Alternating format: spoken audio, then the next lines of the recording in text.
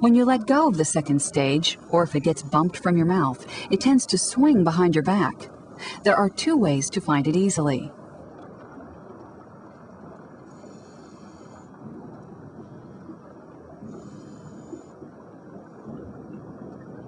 For the first, get in an upright position, then lean a bit to your right. Run your arms straight back alongside your tank and then sweep forward. The regulator hose will end up against your elbow. This method is easiest and works most of the time, but once in a while your second stage may hang up on something. Reach behind your head with your right hand and find where the hose attaches to the first stage.